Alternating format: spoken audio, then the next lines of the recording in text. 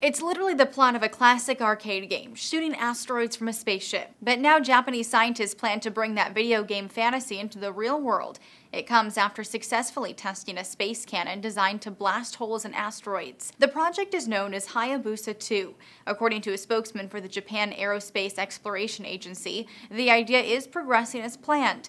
The group now plans to move on to a real world test during an upcoming mission. That means firing an actual cannon into an actual asteroid, but it may not be the kind of cannon you're imagining. As Geek.com reports, the spacecraft will release the weapon, allowing it to float downward while it takes cover. Hmm, float? Take cover? Well, it doesn't sound all that exciting, but apparently the real action comes later when the 4 pound metal projectile is remotely detonated from Earth, blowing a hole in the asteroid.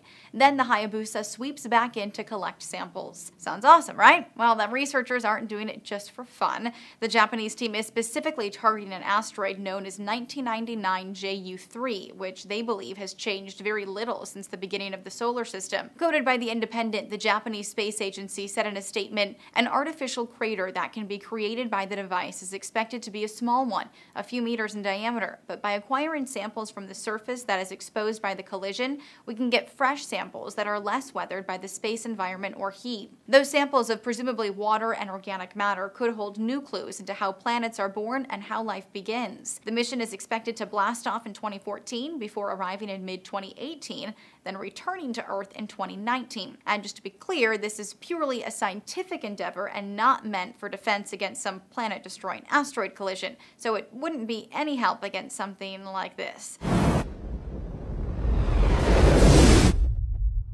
For Newsy, I'm Lauren Goris.